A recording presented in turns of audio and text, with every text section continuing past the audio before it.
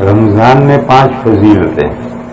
पहली फजीलत नबी पाक सल्लल्लाहु अलैहि वसल्लम ने उसको शाहरुन अजीम फरमाया है। बड़ा महीना। हमारे उर्दू में भी। बड़े बड़े दिन और बड़ी रातों का तस्वूर पाया जाता है। ये दिन बड़ा दिन, ये रातें बड़ी रातें। तो ये बड़ा ये यहाँ से लिया हुआ हजूर ने इस महीने को बड़ा महीना फरमाया। ये इसकी फजीलत और अहमियत। दूसरी फजीलत है कि हुजूर ने इस महीने को मुबारक फरमाया। ज़ुबान नबूवत, हजूर पाक सल्लल्लाहु अलैहि वसल्लम इस महीने को मुबारक फरमा रहे हैं। और उससे बड़ी बरकत क्या हो सकती है इस महीने तीसरी फजीलत यह है कि इस महीने में शब कद्र, जो खैर मिन अल्फ शहर, हज़ार महीनों से भी बेहतर है। और वो कौन सी रात है? मालूम नहीं। रमज़ान की रातों में से हर रात शब कदर हो सकती बस पूरे महीने को फजीलत हासिल हो गई शब कदर उस महीने में होने की वजह से और हर रात में शब कदर होने का एहतमाल इम्कान पॉसिबिलिटी होने की वजह तीसरी फजीलत हजूर ने बतलाई थी। चौथी फजीलत। रमज़ान में रमज़ान को ज़रूरी मशागिल के लिए तो बहर इंसान दुनिया में है तो ज़रूरी मशागिल उसके साथ रहेंगे। खाना पीना सोना काम करना, खाएगा पिए, काम करेगा भी तो खाएगा, पिए। बाकी रमज़ान का कोई वक्त मोहम्मल नहीं छोड़ा अल्लाह। हुजूर ने फरमाया कि जाद जादल्लाहु सियामहु फरीबत व क़याम लैलिही ततव्वु दिन में रोजा रखो, कुछ भी नहीं बचा। दूसरे खाओगे, पियोगे, सोओगे तो रोज़े के साथ वो सारी इबादतें हों। और रात को नफलें पढ़ो वो कंपलसरी है, लग्जरी इबादत है। मगर रमज़ान का कोई जुज इबादत से खाली नहीं छोड़ा। ये चौथी फजीलत है। क्यों? जो कीमती चीज़ होती है, उसको पूरा वसूल करने की आदमी कोशिश करता कुछ भी हाथ से निकल गया तो नुकसान हो जाएगा रमज़ान का अगर कोई जुज हाथ से निकल गया तो हमारा नुकसान हो जाएगा। इसलिए पूरे टाइम को मशगूल किया, एक फ़र्ज़ इबादत रखी, एक नफल इबादत। कल मैंने ये बात बताई थी कि एक हदीस है जो उर्दू किताबों में लिखने वाले लिखते नबी पाक सल्लल्लाहु अलैहि वसल्लम ने फरमाया कि अल्लाह ने रमज़ान के रोजों को फ़र्ज़ किया और मैंने रमज़ान की रातों में तरावी को मसनून किया। ये रिवायत इब्न अदी की अल कामिल में इब्न अदी की अलकामिल में सभी जयीफ रुआत का तस्करा है। तो हर रावी के जिम्न में तस्करे के बाद में एक दो हदीस नमूने के तौर पर। वो ज़िक्र करता है कि देखो ये इसकी निकम्मी रिवायत तो ये रिवायत इब्न अदी में आने का मतलब ये है कि किसी रावी की निकम्मी रिवायत यानी ताइफ जिद्दा, आखिरी दर्जे की जयीफ रिवायत मगर ये जो बेहकी की रिवायत है, ये तो काबिल कबूल है।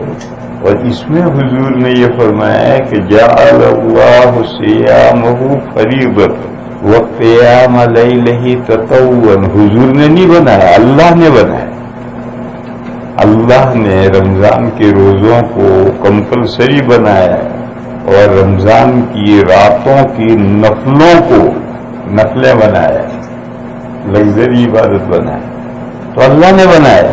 तो जब अल्लाह ने बनाया तो अल्लाह के रसूल ने बनाया। अल्लाह जो कुछ बनाते हैं, वो तो इस दुनिया में अल्लाह रसूल के वास्ते से ही आता है। बस सही रिवायत ये है। वह सनम तो कयाम हो मैंने रमज़ान के रातों में नफलें पढ़ने को मसनून किया, वो ताबीर रावी के जौक की वजह से बिगड़ गई है। सही ताबीर ये है। कि अल्लाह ने रमज़ान के रोजों को फ़र्ज़ बनाया वह जाल तयाम तत्वन अल्लाह ने इसकी रात में नफलें पढ़ने को तो बनाया। सही रिवायती पांचवी फजीलत यह है कि रमज़ान के महीने में सवाब मुवाफ हो जाता है। रमज़ान में कोई नफल इबादत करना, कोई भी तिलावत करना खैरात करना, नफलें पढ़ना, कोई भी रमज़ान में कोई नफल इबादत करना, दीगर महीनों में फ़र्ज़ इबादत करने के वह मंजिल है। मन तकर्रफी बेखसलत मिनल खैर का न कमन अद्दा फरी वतन फीमा सेवा। फ़र्ज़ और नफलों में 170 का तनासुब है। और वो तनासुब वहाँ से समझ में आता है कि अगर कयामत के दिन अगर फराइज में कमी रह गई तो अल्लाह ताला फरिश्तों को हुक्म देख जाएँगे कि देखो मेरे बंदे के बाद नवाफिल है या नहीं। हैं। तो उन नवाफिल से फराइज की तकमील की जाएगी। एक फ़र्ज़ के लिए सत्तर नफलें ली जाए। फजर की दो रकातें नहीं पड़ी। तो उसने सत्तर दो रकातें जो नफलें पड़ी हैं, वो सत्तर सेवेंटी टाइम दो नफलें मिलकर एक फजर के दो फ़र्ज़ के कायम मकाम ये दूसरी रिवायत में मजमून आया। यहाँ से वालू हुआ कि फ़र्ज़ में और इसमें नस्बत वन सेवन की गई लिहाजा अगर रमज़ान में कोई भी खैर का काम करेगा तो दूसरे महीनों में फ़र्ज़ अदा करने के बराबर सवाल यानी रमज़ान में जो खैर का काम किया गया है, उसका सवाब सत्तर गुना बढ़ जाए। दूसरे दिनों में फ़र्ज़ अदा करने के बराबर सवाब मिलेगा। तो इसका साफ़ मतलब ये है कि जो नस्बत है, नफल में और फ़र्ज़ में, वो नस्बत कायम होगी इसमें नेकियों के बढ़ने का जो आम जबता है, अलहसनत बेअशरत अमसाल नेकी दस गुना बढ़ती है। उस जबते में इजाफा हो गया। बजाय दस गुना बढ़ने के सत्तर गुना नेकी बढ़ गई, ये रमज़ान की बरकत ऐसी इसी तरह से दीगर मुनासबतों से भी सवाब बढ़ता है। मसलन, हाजत, नीड से स्वभाव बढ़ता है। एक ख्वाहिशा औरत ने एक पियासे कुत्ते को पानी पिलाया था तो उसका स्वभाव कितना बढ़ गया। वो नीड थी, जिसने पानी पिला तो उसको मरने से बचाया था। वो पियासे मरने को हो रहा था। वो न पिलाती चली जाती तो फिर अल्लाह जाने जंगल में कोई आता है, ना तो कुत्ता पियासे से मर जाता है। जिसने पानी पिला करके उसको मौत से बचाया तो कितना बड़ा स्वभाव पड़ गया।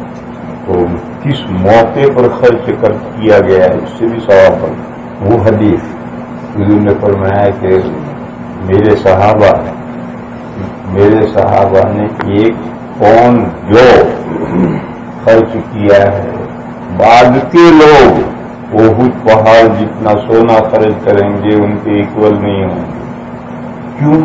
साहबा ने खर्च किया तो उस जमाने में जब इस्लाम को हेल्प की ज़रूरत और आगे लोग खर्च करेंगे उस वक्त में जब इस्लाम उनके हेल्प का मोहताज नहीं है। लोग अपने फ़ायदे के लिए खर्च करेंगे।